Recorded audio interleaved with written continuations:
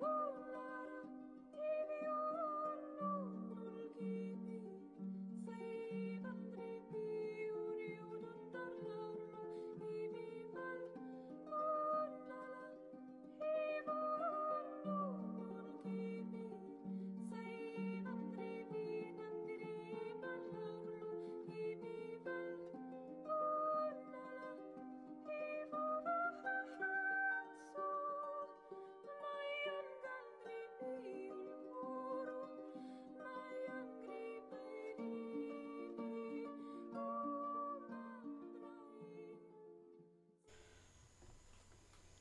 Le soir venu, Mohamed se rendit chez ses nouvelles connaissances qui l'accueillirent avec joie. Moussad, qui avait passé la journée en extase, avait commencé à parler depuis une heure environ.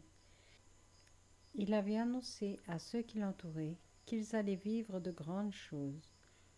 Mohamed en personne allait venir les assurer de son aide au milieu de leur détresse. Où habite Moussad? demanda Mohamed. Puis-je le voir? On lui répondit que celui-ci habitait dans une ruelle particulièrement étroite dans laquelle aucun étranger n'avait le droit de poser le pied. De plus, il était tellement épuisé après chaque prophétie qu'il devait à tout prix se reposer. De toute façon, il assisterait à la réunion du soir. Du soir? demanda Mohamed surpris. N'est-ce pas déjà le soir? Seigneur, l'astre du jour est certes couché, mais nous ne pourrons nous réunir que lorsque les gardes de la ville auront effectué leur dernière ronde autour de la ville. En attendant, accepte notre hospitalité. Le cri de la chouette nous annoncera le moment où nous serons sûrs de ne plus rencontrer personne. Assis en silence, les hommes fumaient de curieuses pipes à la mode syrienne. Cela ne plaisait guère au prince, mais en tant qu'invité, il ne pouvait rien dire. Les petits nuages qui s'échappaient des pipes avaient assurément une odeur agréable, mais leur teinte bleutée donnait à toute chose un aspect flou. L'état intérieur de ces hommes devait être tout aussi flou lorsqu'ils s'adonnaient à ce plaisir. Quand les hommes virent que Mohamed regardait leurs pipes avec curiosité, ils lui proposèrent de fumer avec eux, mais il refusa, en songeant à tout ce qui les attendait au cours de la nuit. Quand ils s'enquirent du motif de son refus, il répondit en toute franchise. Ils commencèrent par rire, mais ils laissèrent l'un après l'autre leurs pipes s'éteindre. En revanche, on apporta un café bien noir et bien fort qui les stimula tous. Le cri de la chouette se fit entendre. Les hommes se mirent rapidement en route. Il y avait peu de chemin à faire. Juste à la sortie de la ville se trouvait un grand bâtiment qui servait habituellement à entreposer des marchandises prêtes à être expédiées, et il avait justement été vidé la veille. Cet entrepôt était immense, et Mohamed fut surpris de le voir se remplir rapidement jusque dans les moindres recoins. Son étonnement grandit encore quand il reconnut qu'il s'agissait de l'endroit qu'il avait vu au cours de la nuit. Son intuition ne l'avait donc pas trompé. C'est bien là qu'il devait annoncer Dieu. Un vieil homme debout sur une sorte d'estrade aménagée avec des caisses prit la parole devant l'assistance comme c'était vraisemblablement la coutume, il énuméra toutes sortes d'oppressions et de violences que les Arabes avaient dû subir en Syrie. Pour chacune de ces accusations, il avait des témoins chargés de confirmer ses paroles. C'est l'accusateur public, chuchota quelqu'un à Mohamed en réponse à son regard interrogateur. L'orateur du jour ne va pas tarder à venir. Tandis que le vieil homme descendait péniblement des caisses, un homme plus jeune sauta sur l'estrade. Il fut accueilli par des cris de joie, mais ne sembla pas les entendre. Son pâle visage demeurait impassible. Il aborda immédiatement le sujet qui les préoccupait tous, à savoir la libération du joug des Syriens et l'annexion à l'Arabie. Mes amis, s'écria-t-il, s'il est vrai qu'un envoyé du prince Mohammed est parmi nous, comme le dit Moussad, qu'il s'avance pour nous permettre de puiser courage et force dans ses paroles.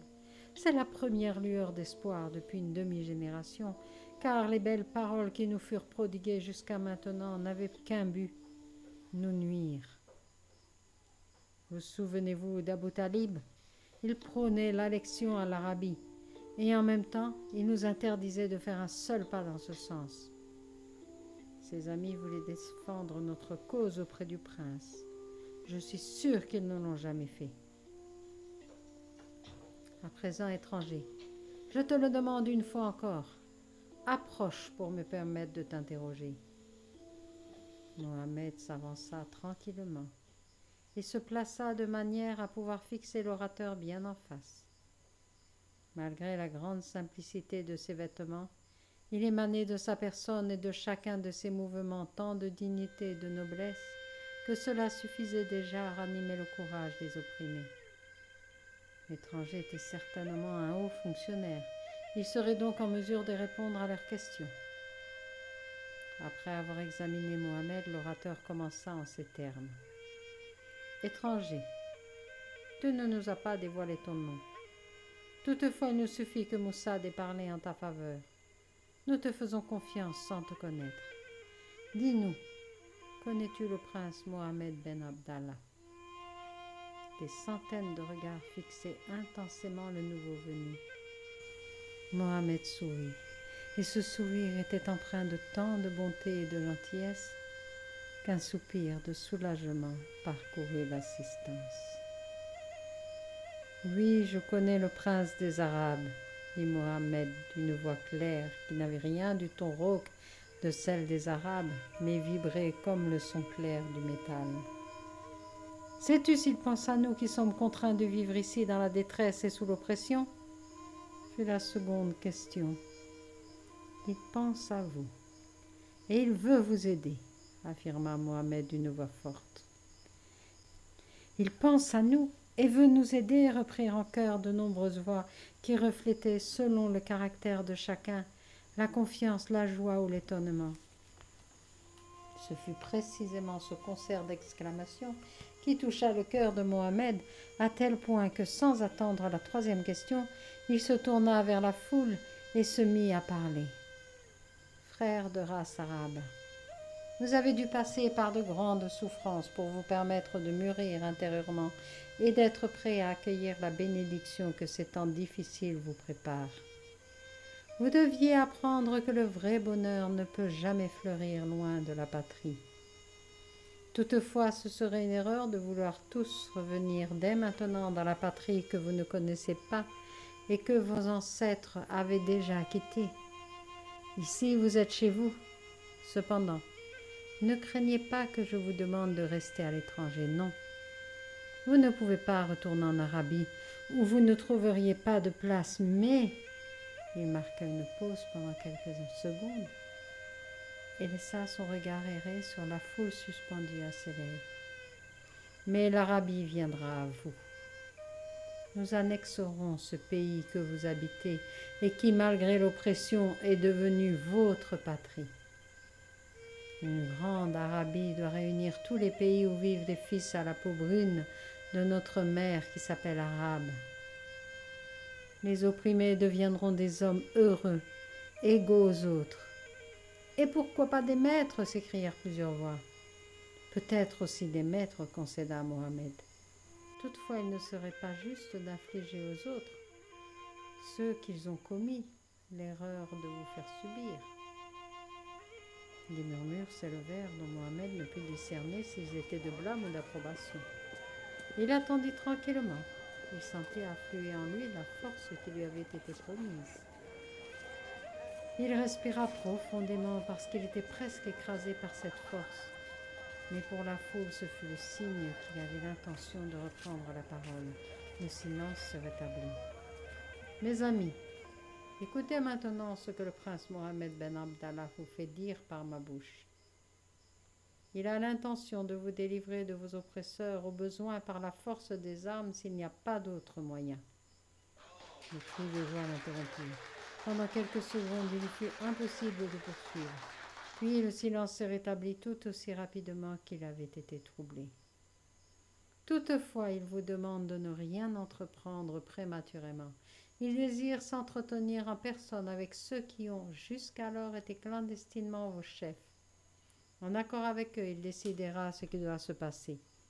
Une démarche inconsidérée pourrait tout compromettre. Me comprenez-vous bien? Les affirmations fusèrent. Le prince Mohamed est parfaitement sûr de la réussite de son projet, car c'est un allié puissant qui l'a chargé de faire ce pas. Il vous aidera vous aussi si vous vous en montrez digne.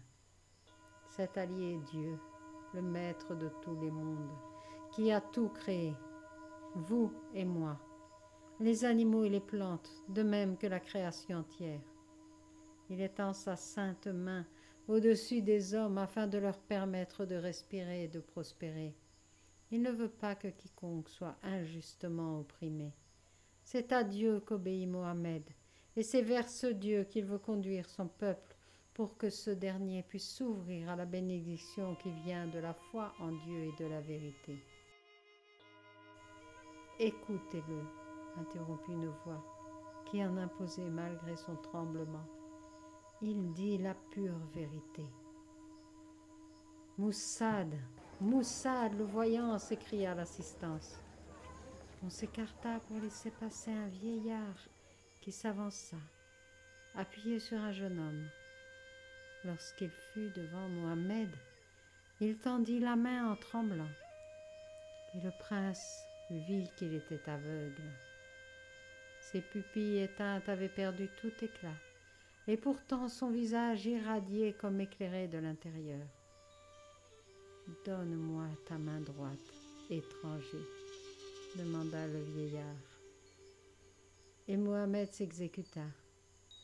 Il serra dans sa main chaude et pleine de vie les doigts secs et froids du vieil homme qui s'inclina et appuya ses lèvres desséchées sur la main du prince. Un certain étonnement parcourut l'assistance, puis ça et là le jour se fit en un éclair dans les esprits. Moussad n'avait plus besoin de dire quoi que ce soit. Son geste avait été suffisamment éloquent. Une exclamation se fit entendre d'un bout à l'autre de la salle. Vive le prince Mohamed Ben Abdallah.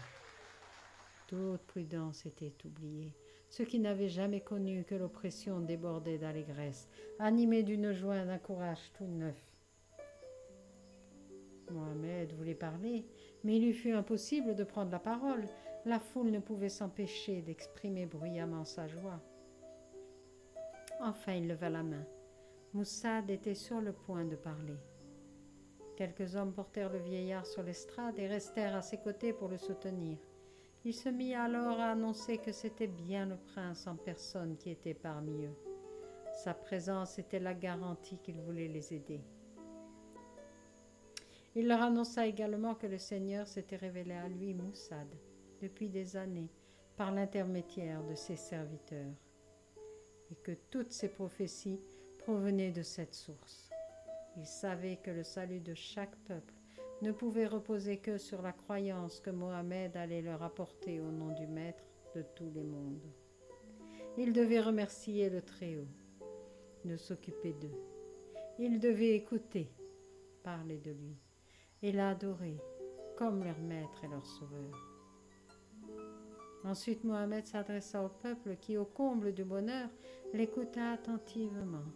Il parla de Dieu qui s'était d'abord révélé aux Juifs mais qui avait ensuite promis d'étendre sa bénédiction sur tous les peuples qui aspiraient à suivre ses voies. Il parla longuement et ne s'arrêta qu'au moment où les sentinelles que l'on avait placées à l'extérieur signalèrent les premières lueurs de l'aube. Se dispersa à la hâte. Mohamed fut invité de tous côtés. Il préféra retourner d'abord à l'auberge et ensuite il alla prendre le petit déjeuner chez les personnes qu'il avait rencontrées à son arrivée.